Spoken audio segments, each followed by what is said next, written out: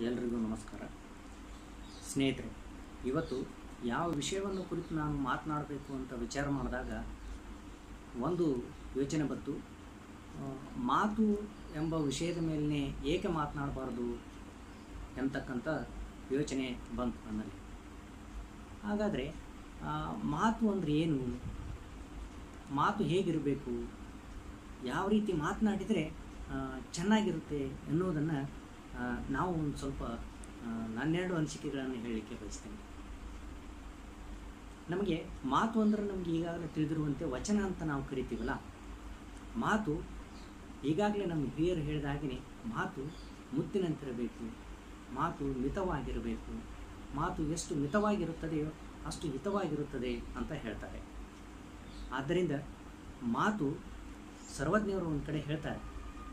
ಮಾತು ಬಲ್ಲ ತಂಗೆ, ಮಾತೊಂದು ಮಾಣಿಕವು ಮಾತು ಅರಿಯದ ಅದಮನಿಗೆ ಮಾಣಿಕವು ತೂತು ಬಿದ್ದಂತೆ ಸರ್ವಜ್ಞ. ಅಂದರೆ ನಾವು ಎಂಥ ಮಾತುಗಳನ್ನು ಹೇಳಿದ್ರೂ ಕೂಡ ಅದು ಒಳ್ಳೆಯ ಮಾತುಗಳು ಆಗಿರಬೇಕು. ಸಮಾಜಕ್ಕೆ ಒಳಿತಾಗಿರಬೇಕು. ವ್ಯಕ್ತಿಗೆ ಒಳಿತಾಗಿರಬೇಕು. ನಮಗೆ ಒಳಿತಾಗಿರಬೇಕು. ಆದ್ದರಿಂದನೇ ಹೇಳ್ತೇವಲ್ಲ, ನಾಲಿಗೆ ಒಳ್ಳೆಯದಾದರೆ ನಾಡೆಲ್ಲ ಒಳ್ಳೆಯದು ಅಂತ ನಾವು ಹೇಳ್ತೇವೆ. ಅದಕ್ಕೆ ಸ್ನೇಹಿತರೆ, ಮಾತು ಎಷ್ಟು ಹಿತವಾಗಿರ್ತದೆಯೋ ಅಷ್ಟೇ ಪರರು ಕೂಡ, ಅಂದರೆ ಬೇರೆದವರು ಕೂಡ ನಮಗೆ ಅಷ್ಟೇ ಒಂದು ಸಮಾಜದಲ್ಲಿ ಗೌರವವನ್ನು ಸಮಾಜದಲ್ಲಿ ಒಂದು ಒಳ್ಳೆಯ ಒಂದು ನಂಬಿಕೆಯನ್ನು ಇಟ್ಟಿರ್ತಾರೆ ಅಂತಕ್ಕಂಥದ್ದು ನಾವು ತಿಳ್ಕೊಬೇಕಾಗ್ತದೆ. ಹಾಗೆಯೇ ಮಾತನ್ನು ಕುರಿತು ಒಂದು ಉದಾಹರಣೆಯನ್ನು ಹೇಳಿಕೆ ಬಯಸ್ತಾರೆ ಏನಂತಂದರೆ ಹೀಗೆ ಒಬ್ಬ ದಾರಿ ಹೋಗ ನಡೀತಾ ನಡೀತಾ ನಡೀತಾ ನಡೀತಾ ಹೋಗ್ತಾ ಇದ್ದ. ಹೋಗಬೇಕಾದ್ರೆ ದಾರಿಯಲ್ಲಿ ಸ್ಮಶಾನ ಎದುರಾಗ್ತದೆ ಸ್ಮಶಾನ ಎದುರಾದಾಗ ಅಲ್ಲಿ ಒಂದು ಡೋಗಿ ಬಿದ್ದಿರ್ತದೆ ಆ ಡೋಗಿಯನ್ನು ನೋಡ್ತಾನೆ. ಡೋಗಿಯನ್ನು ನೋಡಿದಾಗ, ಆ ಡೋಗಿಗೆ ಮಾತಾಡಿಸ್ತಾನೆ. ಅಯ್ಯೋ, ಇಲ್ಯಾಕೆ ಬಿದ್ದೀಯಪ್ಪ ಅಂತ ಕೇಳ್ತಾನೆ. ಆಗ ಅದು ಡೋಗಿ ಹೇಳ್ತದೆ, ಇಲ್ಲಪ್ಪ, ನಾನು ಅತಿಯಾಗಿ ಮಾತನಾಡಿದೆ. ಅದಕ್ಕೆ ನನಗೆ ಈ ಸ್ಥಿತಿ ಬಂದಿದೆ ಅಂತ ಡೋಗಿ ಮಾತಾಡ್ತಾನೆ. ಹೌದಾ? ಅಷ್ಟ್ಯಾಕೆ ಮಾತಾಡಬೇಕು? ಅಂತ ಕೇಳಿದ. ಅವ ಡೋಗಿಗೆ ಮರಳಿ ಹೇಳ್ತಾನೆ. ಹಾಗೆ ನಡ್ಕೋತಾ ನಡ್ಕೋತ ನಡ್ಕೋತ ಇದೇ ಇದು ಆಶ್ಚರ್ಯ? ಡೋಗಿ ಮಾತಾಡ್ತಾ ಇದೆಯಲ್ಲ ಅಂತೇಳಿ ಆಶ್ಚರ್ಯಚಕಿತನಾಗಿ ರಾಜನ ಹತ್ರ ಹೋಗ್ತಾನೆ. ರಾಜರೇ ರಾಜರೇ ಅಲ್ಲೊಂದು ಸ್ಮಶಾನದಲ್ಲಿ ಡೋಗಿ ಬಿದ್ದಿದೆ, ಅದು ಮಾತಾಡ್ತದೆ. ಆಗ ರಾಜನಿಗೆ ಆಶ್ಚರ್ಯವಾಗ್ತದೆ.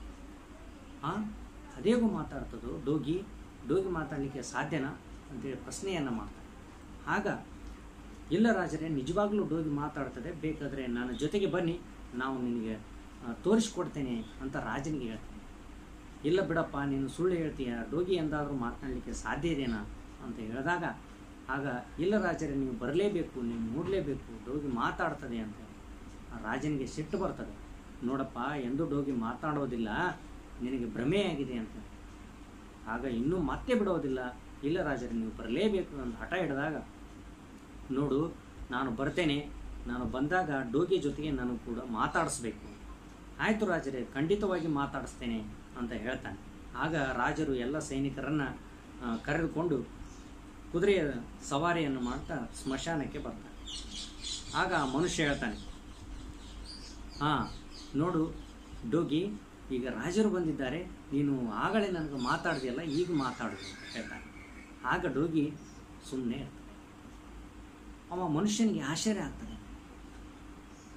ಏಯ್ ಆಗಲೇ ಮಾತಾಡೋದಿಲ್ಲೋ ಈಗ ಮಾತಾಡು, ರಾಜರು ಬಂದಿದ್ದಾರೆ.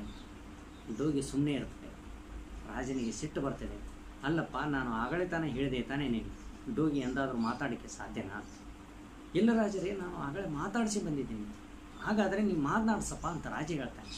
ಆಗ ಡೋಗಿ ಹೇಳ್ತದೆ, ಆಗ ಡೋಗಿ ಸುಮ್ಮನೆ ಇರ್ತದೆ. ಮನುಷ್ಯ ಬೇಡ್ಕೊಳ್ತಾನೆ ಬೇಡ್ಕೊಳ್ತಾನೆ ಬೇಡ್ಕೊಳ್ತಾನೆ. ಮಾತಾಡು ಮಾತಾಡು ಮಾತಾಡು ಅಂತೇಳಿ ಅಂಗಲಾಸ್ತಾನೆ. ಡೋಗಿ ಸುಮ್ಮನೆ ಇರ್ತದೆ ಆಗ ರಾಜನಿಗೆ ಕೊನೆಗೆ ಸಿಟ್ಟು ಬಂದು ಏನು ಮಾಡ್ತಾನೆ, ಸೈನಿಕರೇ, ಇವನ ಶಿರಚ್ಛೇದನವನ್ನು ಮಾಡಿ ಅಂತೇಳಿ ಆಜ್ಞೆಯನ್ನು ಹೊರಡಿಸ್ತಾನೆ. ಆಗ ಸೈನಿಕರು ಅವನ ಶಿರಚ್ಛೇದನವನ್ನು ಮಾಡ್ತಾರೆ. ರಾಜ ಮರಳಿ ಆಸ್ಥಾನಕ್ಕೆ ಹೋಗ್ತಾನೆ. ಎಲ್ಲ ಸೈನಿಕರು ಕೂಡ ಆಸ್ಥಾನಕ್ಕೆ ಹೋಗ್ತಾರೆ. ಆಗ ಶಿರಚ್ಛೇದನ ಮಾಡಿದ ಶಿರ ಆ ಡೋಗಿ ಬಂದು ಮೊದಲೇ ಇರ್ತಕ್ಕಂಥ ಡೋಗಿ ಹತ್ರ ಹೋಗಿ ಬೀಳ್ತಾರೆ ಅದನ್ನು ನೋಡಿ ಆಗ ಡೋಗಿ ಮಾತಾಡ್ತಾನೆ. ಯಾಕಪ್ಪ ನಿನಗೆ ಈ ಸ್ಥಿತಿ ಬಂತು ಅಂತ. ಇಲ್ಲಪ್ಪ, ನಾನು ಹೆಚ್ಚು ಮಾತಾಡಿದೆ, ಅದಕ್ಕೆ ರಾಜ ನನಗೆ ಈ ಈ ಥರದ ಶಿಕ್ಷೆಯನ್ನು ಕೊಟ್ಟಿದ್ದಾನ ಅಂತ ಆ ಮನುಷ್ಯನ ಡೋಗಿ ಹೇಳ್ತದೆ. ಆಗ ಆ ಡೋಗಿ ಹೇಳ್ತದೆ, ಅದಕ್ಕೆ ಹೇಳೋದಪ್ಪ, ಅತಿಯಾಗಿ ಮಾತಾಡಬಾರ್ದು, ಮಾತು ಮಿತವಾಗಿರಬೇಕು, ಮಾತು ಹಿತವಾಗಿರಬೇಕು ಅದಕ್ಕಾಗಿಯೇ ನೀನು ಕೂಡ ಭಾಳ ಮಾತಾಡ್ತಿ ಅಂತ ಕೇಳಿದ್ರೆ ನಿನಗೆ ಈ ಸ್ಥಿತಿ ಬಂದಿದೆ ಅಂತ ಆ ಡೋಗಿ ಮನುಷ್ಯನ ಡೋಗಿಗೆ ಹೇಳ್ತದೆ. ಆಗ ಹೌದಪ್ಪ, ನಿಜವಾಗ್ಲೂ. ಮಾತು ಅಂದರೆ ಮುತ್ತು ಇದ್ದಂಗೆ ನಾವು ಎಷ್ಟು ಮಾತಾಡಬೇಕು, ಅಷ್ಟೇ ಮಾತಾಡಬೇಕು, ಅತಿಯಾಗಿ ಮಾತಾಡಿದರೆ ಇದು ಖಂಡಿತವಾಗಿ ಶಿಕ್ಷೆ ತಪ್ಪಿದ್ದಲ್ಲ ಅಂತ ಕಿರಿಂದ ಆ ಮನುಷ್ಯ ಡೋಗಿ ಹೇಳ್ತದೆ ಆದ್ದರಿಂದ ಬಂಧುಗಳೇ ಮಾತು ಎಂಬುದು ಭಾಳ ಅತ್ಯಮೂಲ್ಯವಾಗಿರ್ತಕ್ಕಂಥ ಅದು ಮುತ್ತು ಅದು. ಆದ್ದರಿಂದ ಆ ಮಾತಿನ ಮೂಲಕನೇ ನಾವು ಆ ಮನುಷ್ಯನ ಒಂದು ನಡವಳಿಕೆ, ಅವನ ಘನತೆ, ಅವನ ಗೌರವವನ್ನು ನಾವು ಅಳಿಬಹುದು. ಆದ್ದರಿಂದ ಬಸವಣ್ಣವರು ಹೇಳ್ತಾರೆ ಮಾತು ನುಡಿದರೆ ಮುತ್ತಿನ ಹಾರದಂತಿರಬೇಕು. ಅಂದರೆ ಸುಮ್ಮನೆ ಹೇಳಿದ್ದಲ್ಲದು. ಆದ್ದರಿಂದ, ಬಂಧುಗಳೇ ನಾವೆಲ್ಲರೂ ಒಳ್ಳೆಯದನ್ನು ಮಾತನಾಡೋಣ ಒಳ್ಳೆಯದನ್ನು ಬಯಸೋಣ ಅಂತ ಹೇಳ್ತಾ ಈ ಮಾತನ್ನು ಕುರಿತು ನನ್ನ ಎರಡು ಅನಿಸಿಕೆಗಳನ್ನು ಮುಗಿಸ್ತೇನೆ. ಎಲ್ರಿಗೂ